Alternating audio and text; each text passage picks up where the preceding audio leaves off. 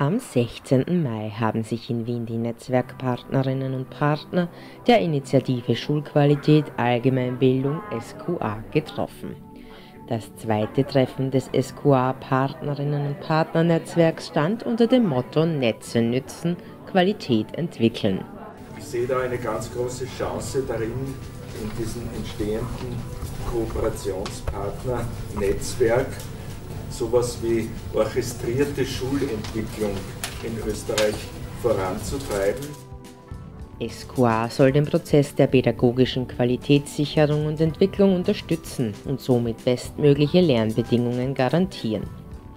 Ziel der Veranstaltung war es, Bedürfnisse der Schulen im Hinblick auf SQA sichtbar zu machen.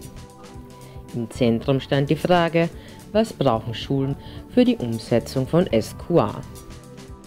Brauchen Licht, sie brauchen Hoffnung, sie brauchen Impulse und sie brauchen Hilfe. Und äh, so stelle ich mir die Rolle der Netzwerkpartner vor.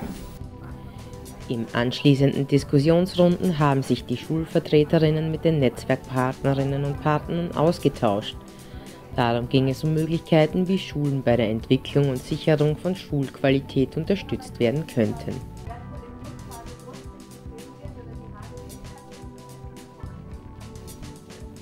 Auch die Kommunikation und Zusammenarbeit innerhalb des Netzwerks wurde thematisiert.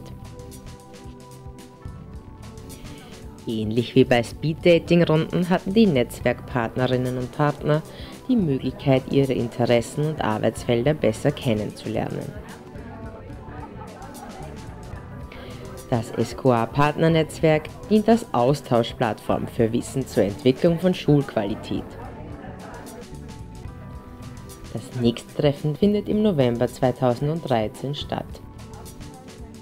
Ich möchte nur ganz kurz zurück auf die Ziele des Tages blicken.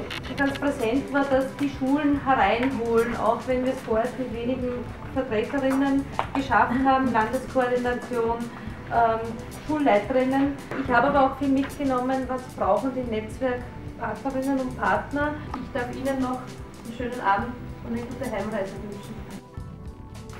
Weitere Informationen zu SQA finden Sie auf der Webseite www.sqa.at.